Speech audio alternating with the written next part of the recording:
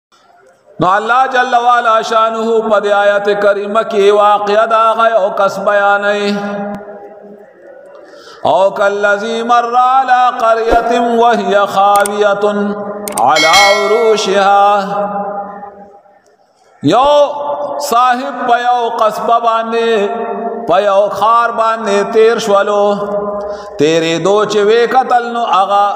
خاریه یا هغه قصبه د دنیا حوادث ورانه کړی دا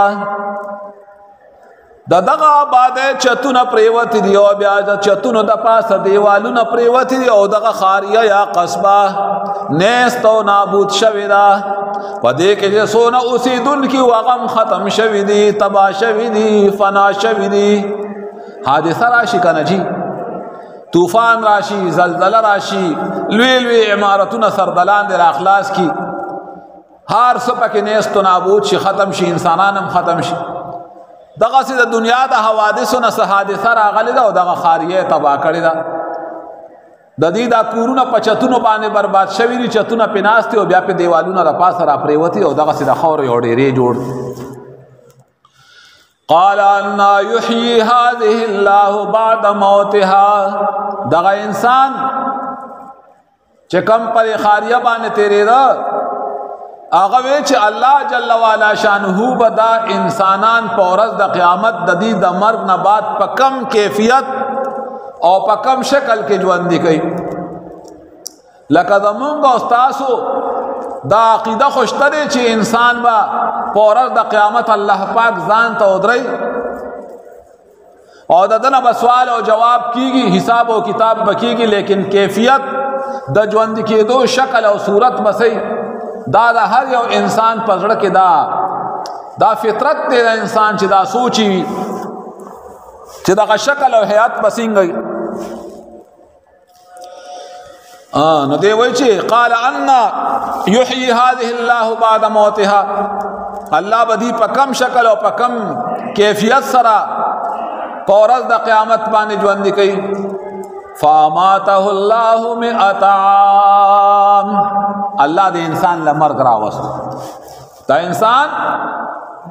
مړ شو ثم بعث بیا ژوند شو انسان مړ شو سمو د باس الله پاک دا انسان بیا را ژوند دی قال کم لبس سونا وخت تیر کو الله ته تپوس کوي و بندا دلته سونا وخت تیر کو دی ویلا بست یوما او بعض یوم ما دلته یو ورځ یا د ورځې صحیح سته رکړ الله ورته وی ګورا وخت ډیر تیر کړي ته پوه نه قال بل لبست مئات عام الله ورته وی زما بندا تا دل تک سل کال تیر کا تما وجلی روح می در نواغستو سل کال پدی زیبان پروتوی ثم بعث بیا می ژوندې کړي فانظر الى طعامك وشرابك لم يتسنى الله ورته وای زما بندا دی خوراک ته دی وګوره اوس کات ته دی وګوره په خوراک باندې چې یو ورځ تیر شي نو دا باسی شي دا بیا دې کې تعفن او بدبوئی پیدا شي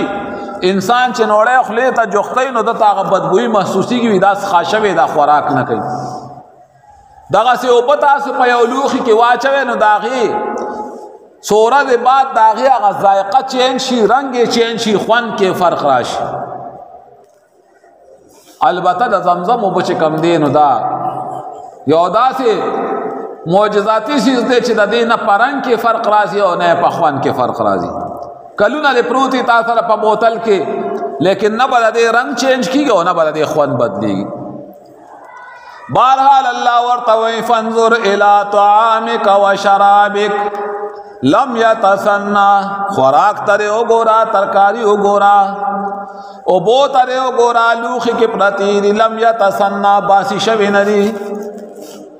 د دنیا نور او باد او ګرمي او یخني سل کال ډیر شي دي کنه په کال کې سلور موسم ای په کال کې سلور موسم ای یخني او ګرمي سپرلی او خزان نو چې سل کال شو نو 400 موسمونه په چین شو لیکن د دغه موسمونو د چینج کېدو باوجود د تبدیلې باوجود الله وی لم یتسنا د دې په ذایقه کې په خوان کې او پرنګ کې فرق نه راغلی او د دې په مقابله کې خوراک جی یو کمزور او نازک سیز دی کنه خوراک چې یو ځای کې پروتي ورس پتی شي نازک دی فورا خرابي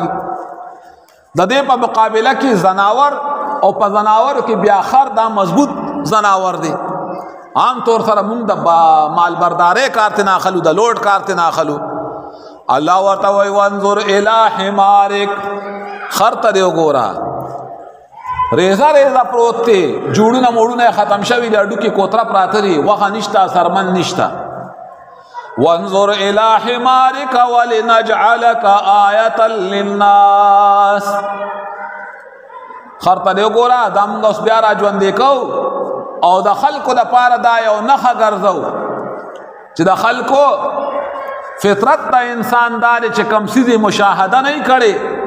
نو که یقین ویم کامل یقین وی خو دا د کوشش دای چې هر زړه د سیز مشاهده وکم چې دا په کم کیفیت او په کم هيئت سره الله پاک دا کار کوي نو دا انساني فطرت ته لکه څنګه چې ابراهیم علیه صلوات و سلام دا الله نه استدعا کړي وا نو دغه سي د هر یو انسان فطرت داري چې هر یو سیس پستر ګووی نه دتا سکون او اطمینان حاصل شي دا غسیس په ژوند کولو په کیفیت د ژوند کولو کې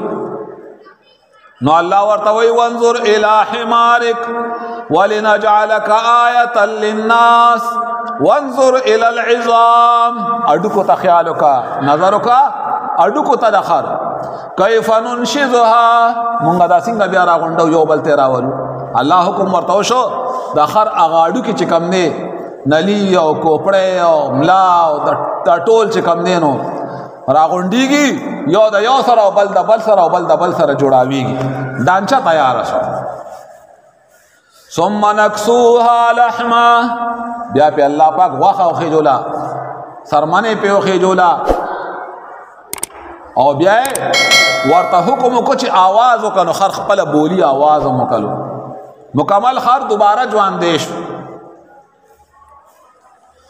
فلما تبين له قال اعلم ان الله على كل شيء قدير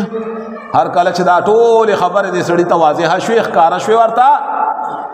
نو دی وای چې ان الله على كل شيء قدير بشک الله تعالی په هر چیز باندې قادر دی